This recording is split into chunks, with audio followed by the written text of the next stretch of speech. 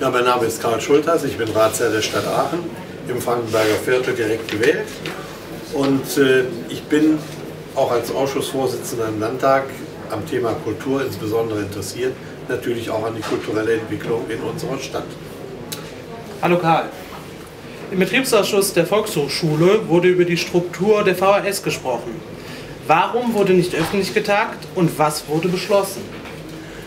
Der Kulturausschuss hatte eine Kommission eingesetzt, eine Strukturkommission für die, für die Volkshochschule und äh, es sollten die Ergebnisse beraten werden.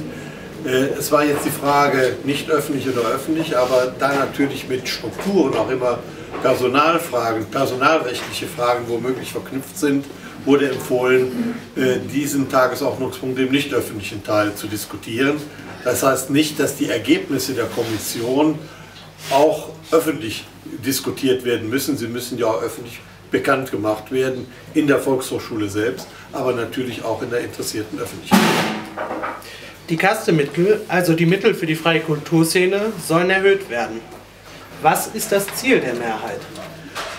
Wir haben in Aachen seit 1989 die Mittel für die Kultureinrichtungen außerhalb städtischer Einrichtungen, also städtische Einrichtungen wie das Aachener Theater oder die Aachener Museen, die Mittel nicht erhöht.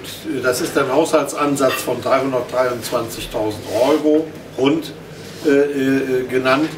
Aber wir haben in der Koalitionsvereinbarung festgeschrieben, dass die Mittel für die freie Kultur, um es vereinfacht auszudrücken, erhöht werden sollen.